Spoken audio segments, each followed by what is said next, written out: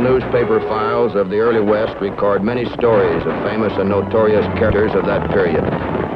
Bill Doolin, the bank and train robber who terrorized the Southwest in the 1890s, led the most ruthless and efficient gang in outlaw history. Cimarron, Kansas, July the 28th, 1893.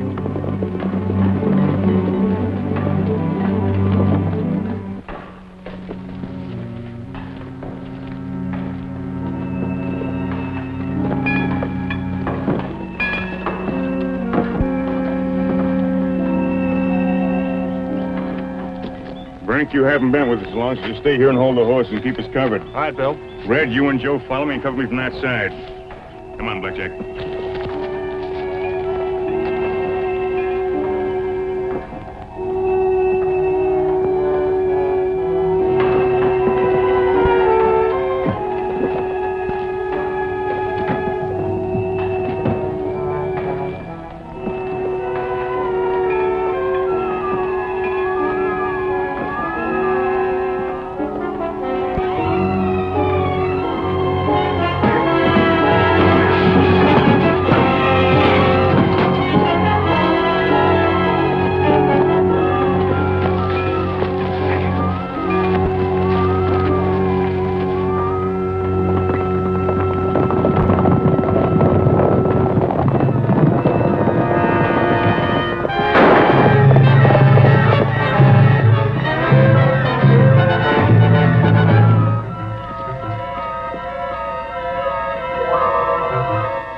The wounded outlaw was identified as Ed Brinkley, a new recruit to the Doolin gang. Since a railroad was involved, I was sent to Cimarron on the double. I'm Matt Clark, railroad detective. Can't touch you now, Brinkley. Why won't you talk? Haven't you a family? Any friends? I got a wife. If you'll tell me where I can find Doolin, I give you my word of honor that your wife will get part of the reward. I'm, I'm gonna die, is that it? You're putting up a good fight. Doc here says he's doing everything he can for you. You, you on the level about, about sharing the reward? That's right. She's in Columbus, Ohio. This is Ed Brinkley. It's, it's my real name. Now, what about Doolin? He was heading for Oklahoma. Cave about 40 miles north of Guthrie. I'd never been there, but I, I heard him talk about it. Can't you tell me anything else? No, I, I was kind of new. Tell Sarah I love her and I, I'm sorry.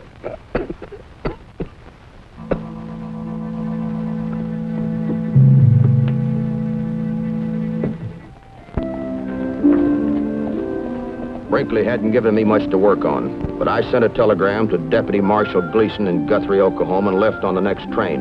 I also arranged for Frankie Adams, another operator for the railroad, to meet me there. Yes, there are caves in that area. If I sent out enough men to handle the Doolin gang, they'd be spotted before they get anywhere near them. Doolin can't keep his men cooped up in a cave. They want to hit town, start blowing their money. I've checked every town and crossroad within a radius of 50 miles. Anybody has seen them, they're too scared to tell us. Frankie and I've got a scheme that might be the answer. What is it? We didn't notify the newspapers that Brinkley had been identified. If his wife comes into town looking for him, she might contact some member of the gang. Hmm. Mrs. Brinkley willing to cooperate? Well, I don't know about that, but uh, Frankie is. I've been everything from a school teacher to a circus performer. Being Mrs. Ed Brinkley should be a cinch. Supposing one of the gang knows Brinkley's wife. Well, he hasn't been in the gang very long, and besides, she comes from Columbus, Ohio. Hmm. Oh, maybe you might turn up something with that. Fine.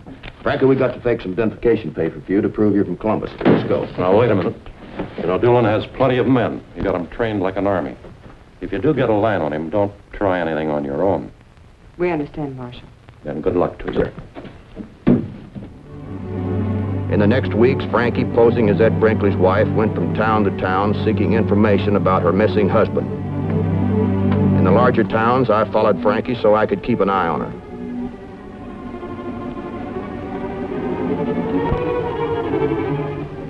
In the smaller towns where a stranger would attract attention, I didn't contact her until after she made her inquiries. Then came the day Frankie arrived in Ingalls, an isolated off-the-pass settlement on the edge of Indian Territory.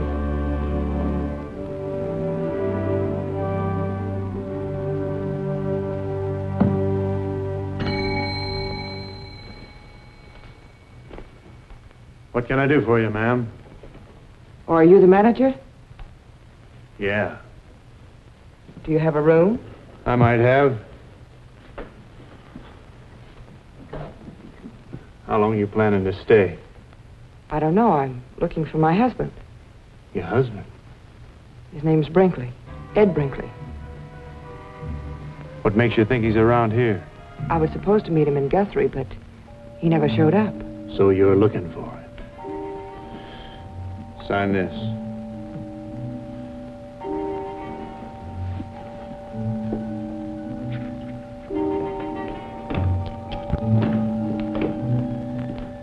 Brink's wife's over at the hotel asking for him. Asking for him? Yeah. I wrote and told her he was dead.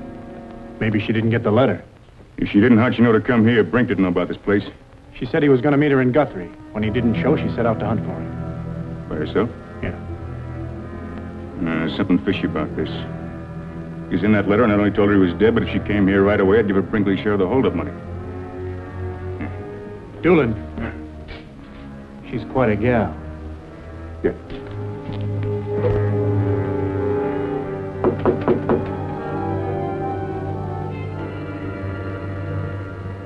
Who is it? Got your suitcase, miss. Put it on the bed. He was right. You're quite a gal. You're awfully fresh. Get out of here. Sure. I, uh, hear you're looking for Ed Brinkley. Wait a minute. That's right. He's my husband. Can you prove that? Well, I don't carry around a wedding certificate, but I... Is Ed in trouble again? First, I gotta know who you are. I'm Sarah Brinkley. Well, if you don't believe me, I've got papers and letters from Let's Ed. see the letters.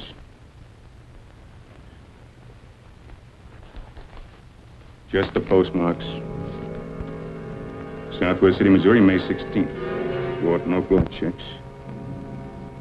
Ed's wife was from Columbus. You from Columbus? Yes. This coat looks store-bought. Has it got a label? I think so. Peabody Emporium, Columbus, Ohio. When'd you leave home? On the 18th. Ah. And that's why you didn't get my letter. What letter? Maybe you'd better sit down.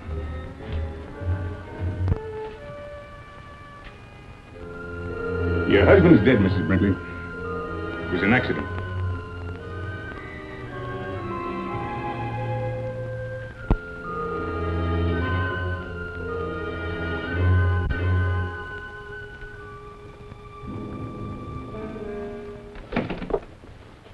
Want a shoulder to cry on?